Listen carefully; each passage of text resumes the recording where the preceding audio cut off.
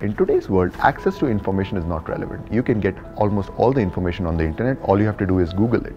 What you need is people who can actually cherry pick the right information, process it, and make it useful for decision making. And that is when management accounting comes into picture.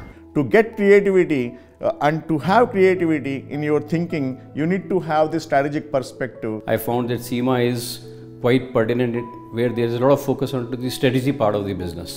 It not only prepares the students for areas of finance but also areas of business. That qualification will enable me to be part of the senior business leadership roles. When I go internationally, anywhere, when I hold this brand, people, the way they receive me changes completely because this has an international profile. It not only uh, gives you the theoretical management accounting skills, but it helps you to give a one holistic view of um, all the skills. It has given me more strategic thinking. It's very enriching in terms of the content and in terms of the knowledge and the experience you gain also over the program. It basically helps and enables any professional to nurture those capabilities which are required uh, for setting a right business case. Those whoever is moving from middle level career to top level career or have aspirations to move towards top level career, they all needs to have that strategic edge. It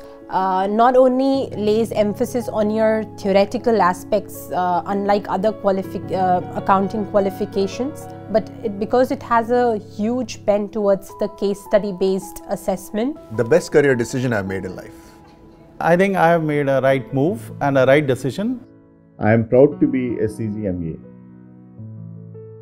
Proud to be a CGMA designation holder.